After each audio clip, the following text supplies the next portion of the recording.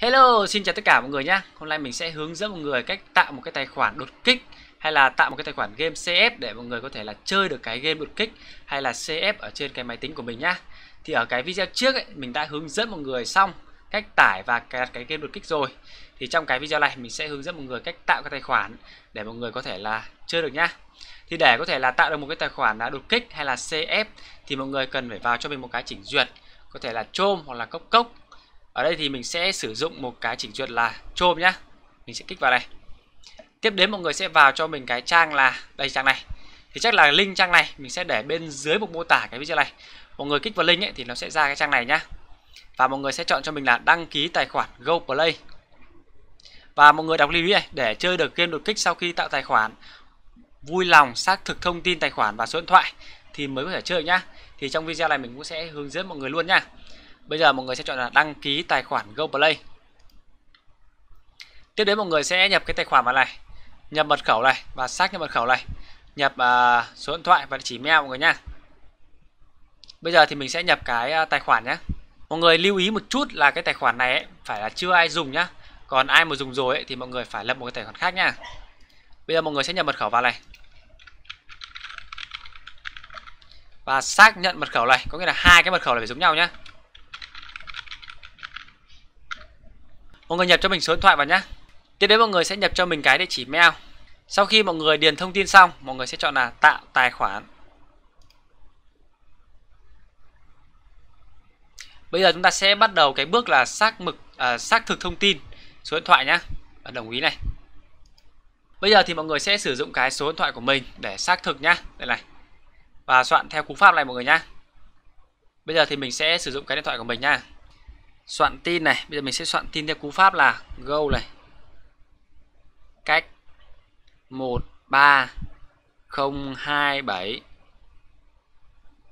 25 094 và ấn gửi nha. Bây giờ mình sẽ chờ cái mã gửi về và nhập vào đây. Lấy mã về rồi đây. Thì đây chính là cái mã của mình Mình sẽ nhập vào nhé và mình ấn xác nhận.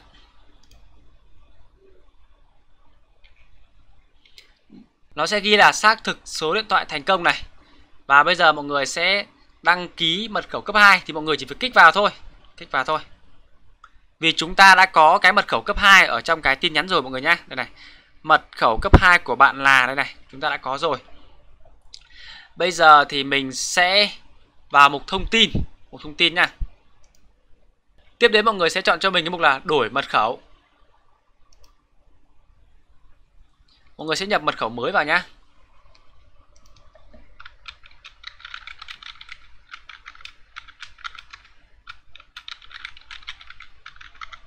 Nhập mật khẩu cấp 2 vào.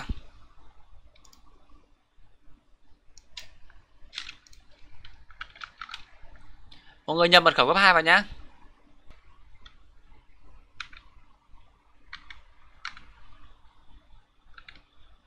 Và ấn thay đổi. Như vậy là chúng ta đã cập nhật à, mật khẩu thành công rồi này. Bây giờ mình sẽ ấn vào cái này, thông tin.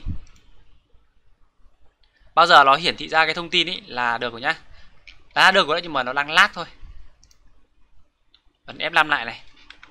Đó, như thế này là chúng ta đã tạo thành công cái tài khoản à, đột kích hay là CF để mà chơi nhá. Và như thế này cũng là xác minh thành công được cái à, uh, xác thực thành công được cái số điện thoại rồi.